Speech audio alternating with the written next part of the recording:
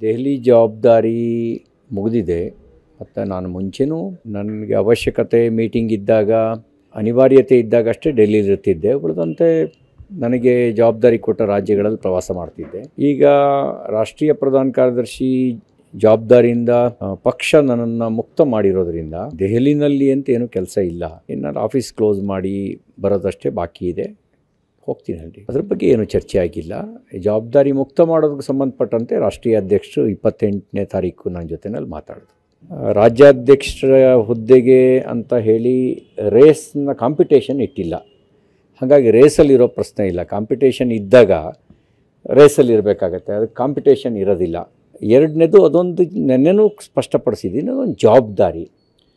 ಜವಾಬ್ದಾರಿಯನ್ನು ಕೇಳಿ ಪಡಿಬಾರ್ದು ಯಾರುವೆ. ಯಾವ ಕಾಲಕ್ಕೆ ಯಾರು ಸೂಕ್ತ ಅನ್ನೋದನ್ನು ಪಕ್ಷದ ವರಿಷ್ಠರು ತೀರ್ಮಾನ ಮಾಡ್ತಾರೆ. ಮತ್ತು ನಮ್ಮ ಪಾರ್ಟಿನಲ್ಲಿ ಯಾವುದು ಪರ್ಮನೆಂಟ್ ಇಲ್ಲ. ಹಾಗಾಗಿ ಯಾವ ಸಂದರ್ಭಕ್ಕೆ ಯಾರು ಸೂಟಬಲ್ ಅನ್ನೋದನ್ನು ಪಾರ್ಟಿ ತೀರ್ಮಾನ ಮಾಡುತ್ತೆ.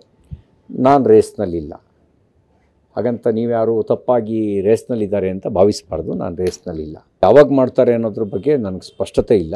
ಮಾಡಬಹುದು. ಯಾವಾಗ ಮಾಡ್ತಾರೆ ಅನ್ನೋದು ನನಗಂತೂ ಸ್ಪಷ್ಟತೆ ಇಲ್ಲ. ಒಂದು ಆಫೀಸು, ಕ್ವಾರ್ಟರ್ಸು ಕ್ಲಿಯರ್ ಮಾಡಿ ಉಳಿದೆಲ್ಲ ನಮ್ಮ ಸಹೋದ್ಯೋಗಿಗಳ ಜೊತೆ ಮಾತಾಡಿ ನಮಗೆ ಸಹಕಾರ ಕೊಟ್ಟಂಥ ಎಲ್ರಿಗೊಂದು ಧನ್ಯವಾದ ಹೇಳಿ ಬರಬೇಕು.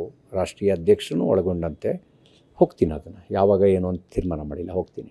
ನೀವು ನೋಡಿ ನಿಮಗೇನಂದರೆ ನಾನು, ನನಗೆ ನನಗೆ ಆತಂಕ ಏನು ಅಂದರೆ ನಮ್ಮ ಸಹಜವಾಗಿರೋ ಚಟುವಟಿಕೆಗಳನ್ನು ನೀವು ಅದನ್ನು ಬೇರೆ ಒಂದು ರೀತಿಯಲ್ಲಿ ಕುತೂಹಲವನ್ನು ಉಂಟು ಮಾಡಿ ತೋರಿಸ್ತೀರಿ. ನನಗದು ಇಷ್ಟ ಇಲ್ಲ.